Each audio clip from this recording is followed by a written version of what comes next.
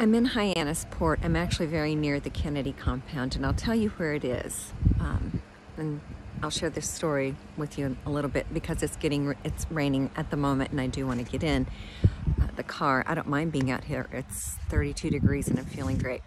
But I'm going to turn around and show you. There is a jetty behind me with a gazebo, and on the other side there's a longer jetty.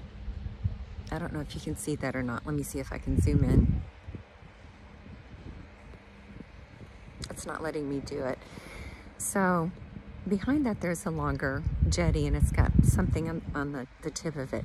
I believe that that actually is the, the jetty that extends out from the Kennedy compound. Actually, I'm going to walk over there and see if I can get a better picture, but I've got to watch myself because there's snow on the beach. So look how beautiful it is.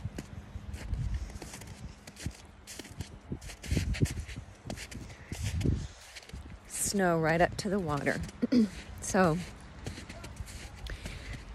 when I came here in 1987, uh, this journal is destroyed with um, everything else that I lost in Harvey. But I hugged the coast at Hyannisport.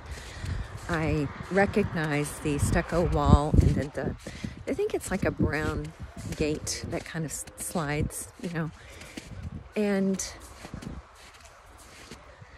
there was a, uh, a, a, green space off to the left of this, the, the walled off place. So uh, an open field. So I parked there. I walked around, sat on the beach, and yeah. So I was in a more private space than what we have here. So let me just let me just show you. So there is this jetty that has the gazebo and then I don't know if you can see the jetty behind. There's another one. It extends further out okay? It ends about right I don't know if my camera's gonna be able to catch it right there. So a guard came out. I'm gonna keep walking over here. A guard came out and I could have sworn that I saw Joe Kennedy run by in blue running shorts from the 80s, you know, that, that were kind of short. Um, I didn't see his face, but somebody whizzed by me. I was sitting on a big log of driftwood. And when I looked up, all I saw was the back. And I thought, I wonder if that's Joe. Uh, he would be uh, Robert's son. So, oh yeah. Oh yeah.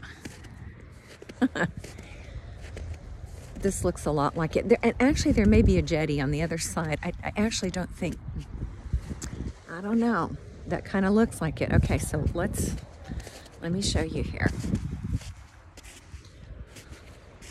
Behind me, there's a jetty. As you can see, there's a gazebo. It was not this jetty for sure, but it sure looked like that one over there. Okay, it starts, these cameras right there. Can you see it? And I follow my sight line and it ends somewhere. I don't know if this camera is gonna pick it up or not. It ends back over here. So this guard came out and he said, hey, do you know you're on private property? I, I said no. And actually, when I looked around the corner, I saw what looked to be the big uh, gazebo. You know, it, it's got the half glass uh, where the Kennedys used to play football on the lawn. There was a, a, a huge glass, um, I call it a gazebo? No, it's a bay window. It's a huge bay window. so I saw that and so I kind of knew probably was. And I said, well, I just moved here from Oklahoma. I'm writing my parents. And, and I don't believe that there were any signs to stay off the property at the time. He had a German Shepherd. And he said, well, welcome to Massachusetts. It's going to take me about 30 minutes to walk out to the end of the jetty and be back. And you need to be gone. I said, okay, fine. So I finished writing my letter.